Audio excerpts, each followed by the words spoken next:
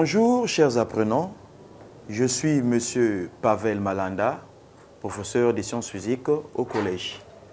Une fois de plus, je me tiens devant vous pour dispenser un cours de physique portant sur la détermination de la résistance électrique. Pour plus de précision, je dis que nous sommes en courant continu. Alors, à la fin de cette séance, chacun de vous doit être capable de déterminer la résistance électrique d'un conducteur ohmique à partir des lois relatives au type de montage. Mais avant tout, nous devrons d'abord prendre quelques rappels sur les notions de résistor ou conducteur ohmique et aussi sur la résistance électrique. Donc prenons le petit 1. 1. Rappel. Rappel sur les notions. Rappel sur les notions de résistor ou conducteur ohmique et la résistance électrique.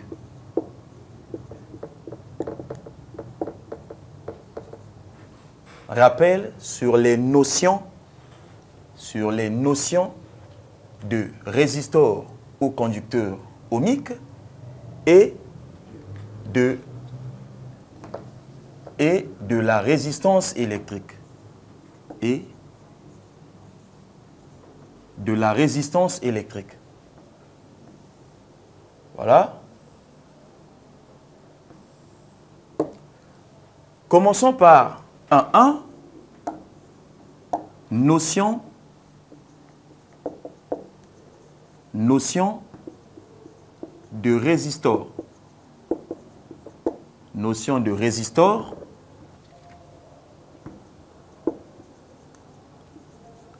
Encore appelé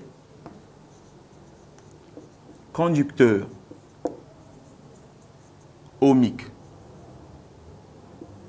Conducteur ohmique. Bien.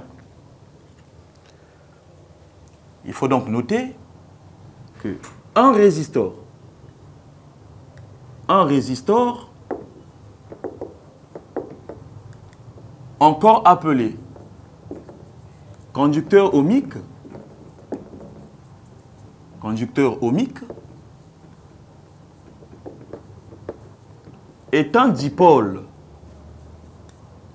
un dipôle,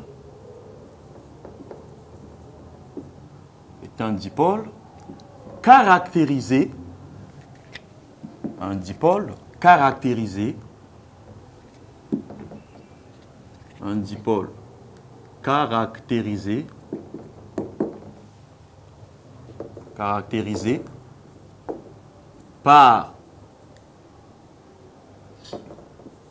sa résistance, par sa résistance électrique, par sa résistance électrique, notée, notée R. Un résistor ou conducteur ohmique est un dipôle caractérisé par sa résistance électrique notée R. C'est-à-dire qu'un conducteur ohmique ou un résistor a une résistance. Parlons donc de la notion de résistance. 1, 2. Notion de résistance électrique.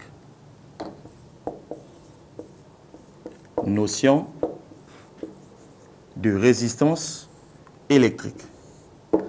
Toutefois, nous ne, devons pas oublier que lorsqu'on parle d'un conducteur ohmique ou résistor, ce dipôle a un symbole normalisé.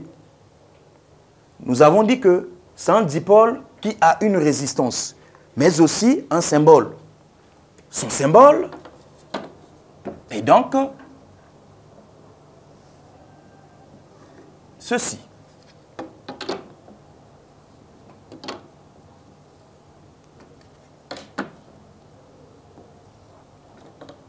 Voilà le symbole d'un conducteur ohmique. Et ce conducteur ohmique, nous avons dit qu'il a une résistance R. Un, deux notions de résistance électrique. La résistance électrique. La résistance électrique. La résistance électrique est une grandeur est une grandeur une grandeur physique une grandeur physique qui traduit? Qui traduit l'opposition? Qui traduit l'opposition plus ou moins? L'opposition plus ou moins?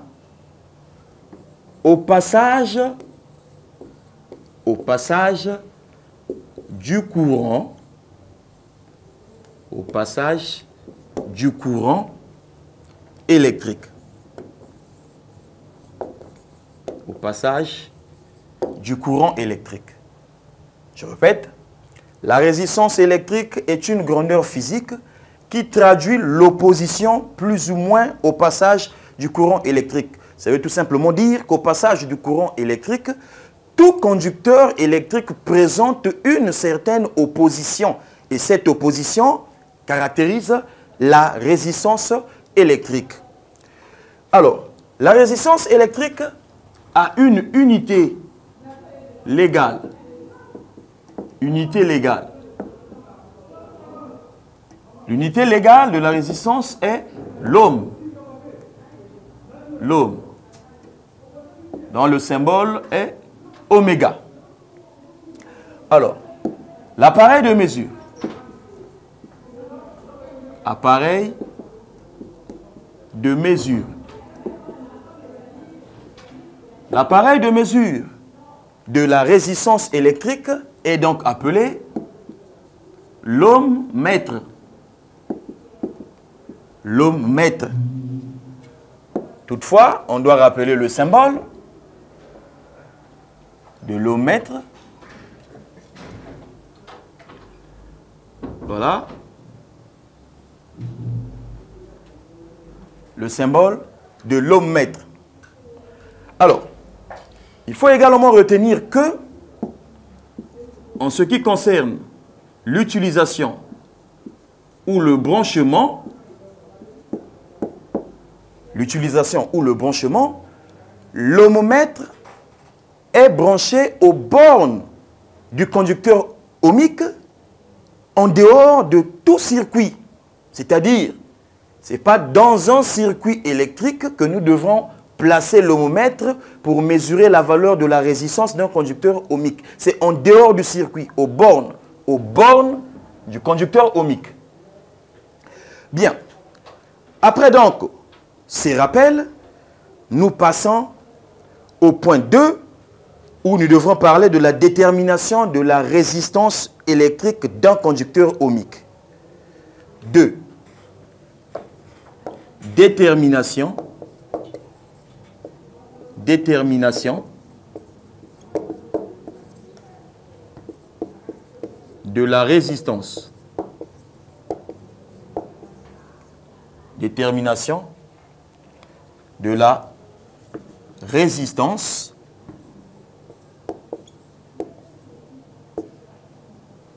résistance électrique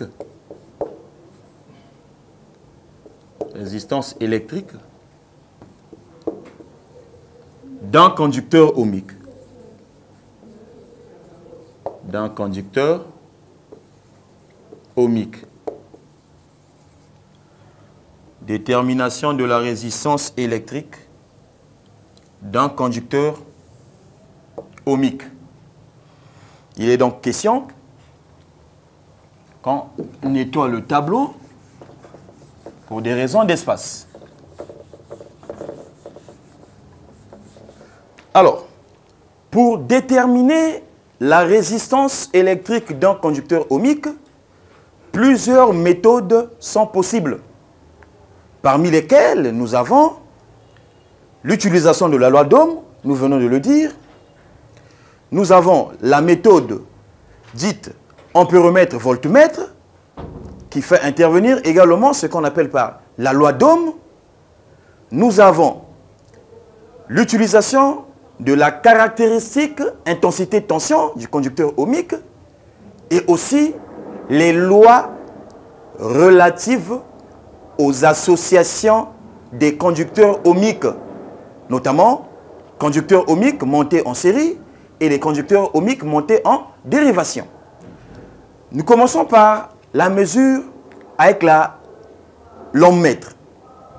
Donc, de 1 mesure à l'homme mètre. De 1 mesure à l'homme mètre.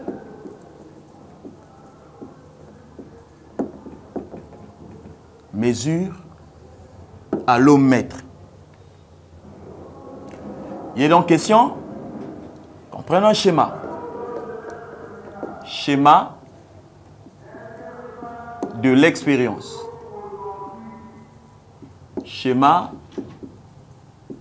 de l'expérience. Bien. Nous avons un conducteur ohmique dont le symbole est représenté au tableau.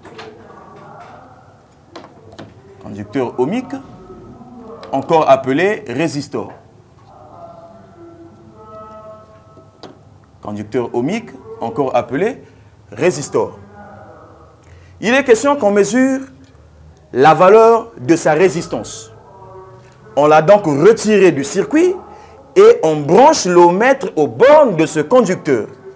Le schéma sera donc complété avec des fils de connexion, mais aussi le symbole de l'appareil de mesure de la résistance, bien sûr, qui n'est autre que l'ohmètre.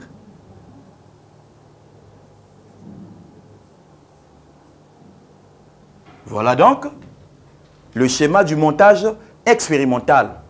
Une fois que l'ohmètre sera branché aux bornes du conducteur ohmique, la valeur de sa résistance sera affichée et une lecture directe sera faite. Alors, nous pouvons donc retenir, je retiens, l'ohmètre, l'ohmètre se branche. L'ohmètre se branche. Aux bornes, aux bornes du conducteur, aux bornes du conducteur ohmique et la lecture et la lecture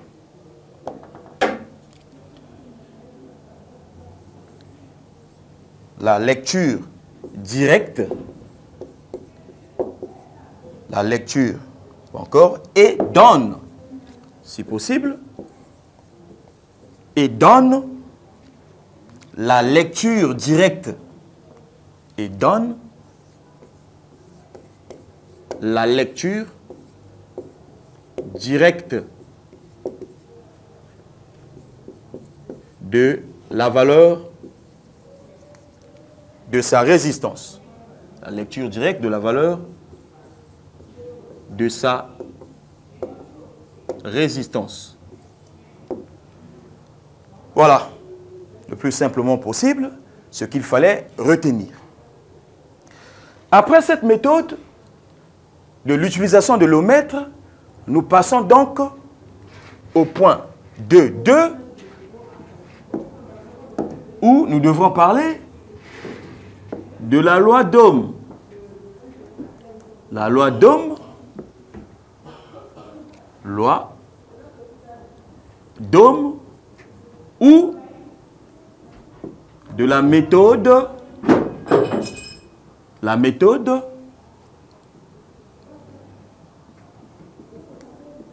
dite en périmètre voltmètre. Méthode d'ampéromètre, voltmètre. Voilà. À ce niveau, nous commençons par la loi d'Ohm. Petit a, la loi d'Ohm. La loi d'Ohm. La loi d'Ohm, il y a donc son énoncé et son expression littérale. Que dit l'énoncé de la loi d'Ohm Énoncé. Énoncé. La tension U aux bornes d'un conducteur ohmique est égale au produit de sa résistance R par l'intensité du courant I qui le traverse. On peut donc noter la tension, la tension U. Aux bornes d'un conducteur, aux bornes d'un conducteur ohmique, aux bornes d'un conducteur ohmique. Est égal est égal au produit. Au produit. Au produit de sa résistance. Au produit de sa résistance R par l'intensité par l'intensité I du courant qui le traverse. Du courant qui le traverse. C'est-à-dire le courant qui traverse le conducteur ohmique encore appelé résistor. Expression littérale. Il est donc question qu'on efface la première méthode afin de gagner de l'espace. Prenons, après l'énoncé, l'expression littérale. Expression littérale. expression littérale. Nous parlons donc de l'expression littérale de la loi d'Ohm. Mais cette expression ne va découler que de l'énoncé. On parle du produit. Et nous savons que le produit, c'est la multiplication. Le produit de la résistance par l'intensité. Finalement, qu'est-ce que nous devons écrire? U égale à R multiplié par I. U égale à R multiplié par I. Et ensuite, on encadre l'expression. On encadre et nous devrons obligatoirement mettre les unités légales. Nous avons la tension U aux bornes du résistor, sa résistance R et l'intensité I du courant qui le traverse. La tension a pour unité légale le volt. la résistance, nous venons de rappeler, il s'agit de l'homme. Et l'intensité s'exprime en ampères. Alors, la loi d'Ohm nous donne donc comme conséquence l'expression de la détermination de la résistance du conducteur ohmique, puisque nous sommes bel et bien dans la détermination de la résistance du conducteur ohmique. Donc, dans cette loi d'Ohm, nous devrons déduire l'expression de R. À quoi donc sera égal R? La résistance. R égale à la tension U aux bornes du conducteur ohmique sur l'intensité I du courant qui le traverse, avec les mêmes unités, c'est-à-dire la résistance en ohm, l'intensité en ampères, et enfin la tension en volts. Donc, avec cette expression, on détermine la valeur de la résistance électrique d'un conducteur ohmique. Ensuite, nous prenons la fameuse méthode d'ampéromètre voltmètre, puisque on en a parlé au point 2.2. B. Méthode méthode ampéromètre la méthode ampéromètre voltmètre. Méthode, ampéromètre, voltmètre. Alors, là également, nous devrons nous appuyer sur un schéma expérimental. Schéma, schéma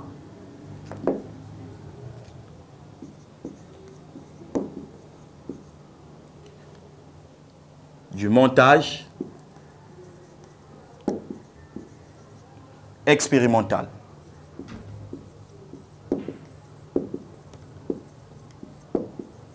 Schéma du montage expérimental. Bien. On efface cette partie afin de mettre un schéma Voilà donc.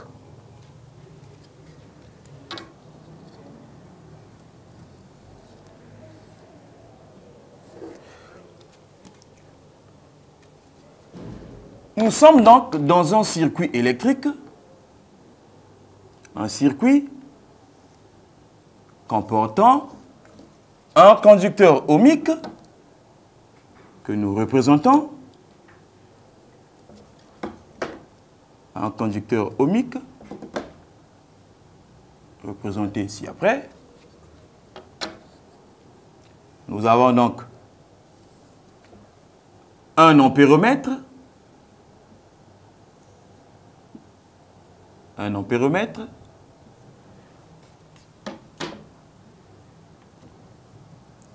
il y a également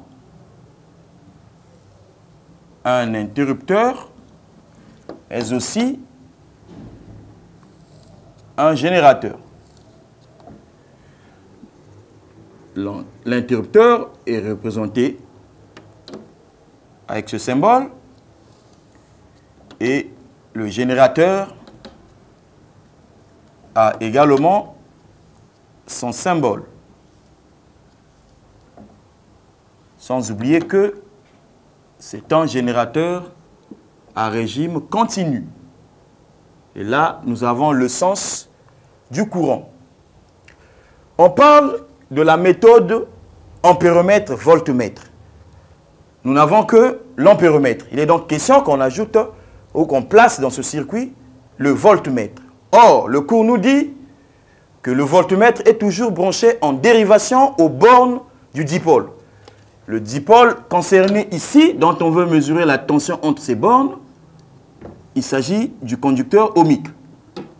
Ça signifie que le voltmètre doit être placé ou monté aux bornes du conducteur ohmique.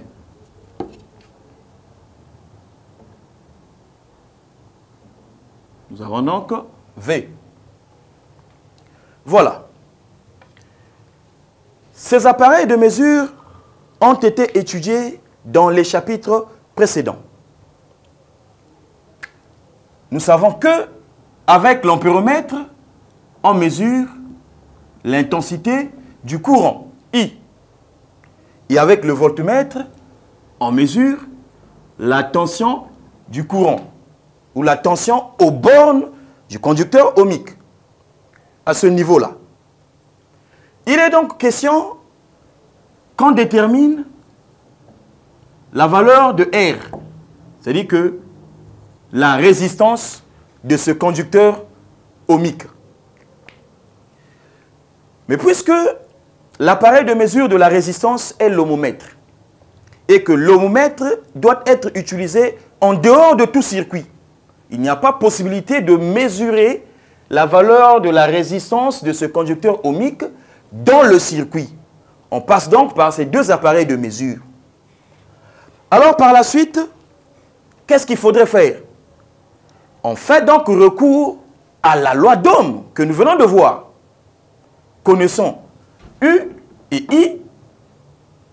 On applique la loi d'Ohm, U égale à R multiplié par I, et on déduit R avec l'expression R égale à U sur I. Alors, on va donc retenir, je retiens, la méthode, la méthode en périmètre voltmètre.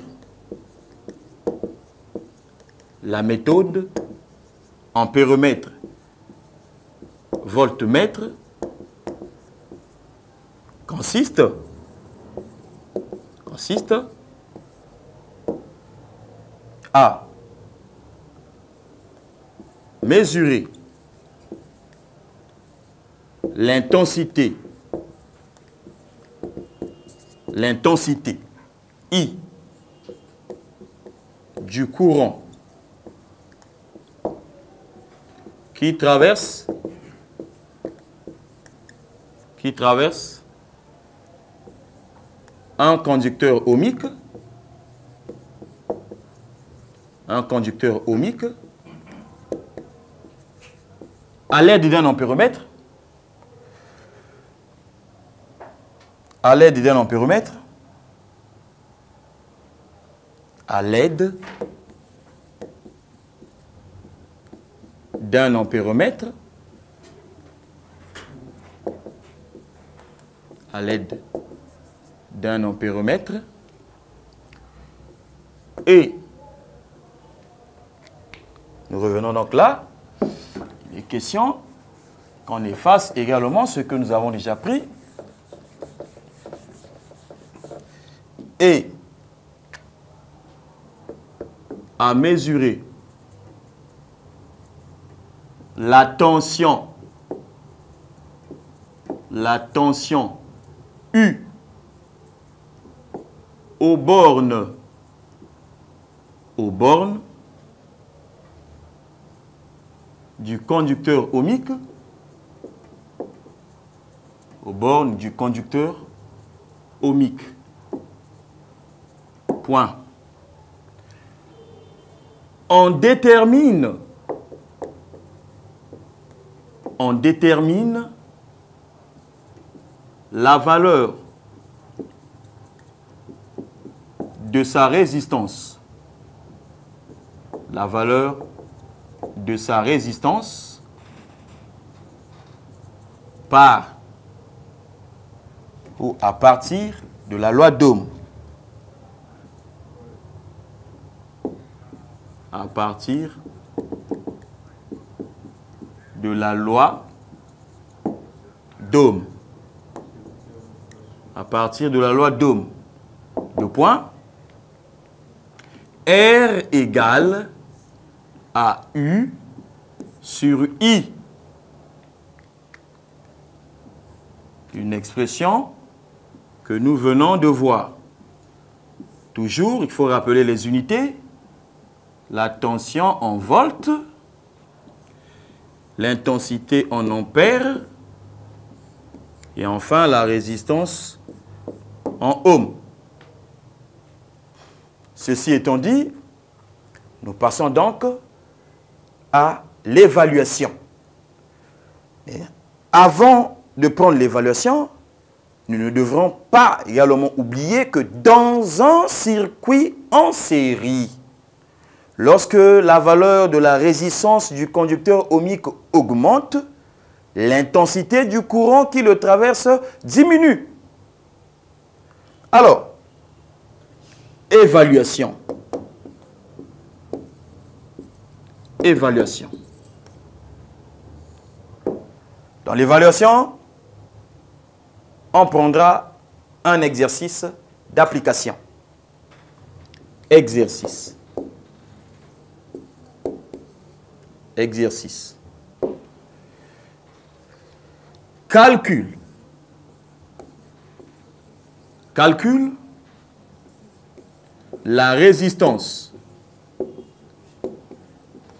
Calcule la résistance électrique. Calcule la résistance électrique. La résistance électrique d'un conducteur ohmique d'un conducteur ohmique ohmique soumis à une tension soumis à une tension de 220 volts. Et traversé et traversé par un courant d'intensité un courant d'intensité 5 ampères. Alors, la première des choses, c'est faire la lecture. Calcule la résistance électrique d'un conducteur ohmique soumis à une tension de 220 volts et traversé par un courant d'intensité 5 ampères. On passe à la prise de données. On donne. On donne. Qu'est-ce qui est donné? Nous savons qu'il y a la tension, notée U, 220 volts. Il y a l'intensité, notée I, 5 ampères. Alors, qu'est-ce qu'on demande? On demande la résistance R. Solution. Solution. je calcule la résistance électrique. Je calcule la résistance électrique. Nous prenons donc l'expression littérale R égale à U sur I.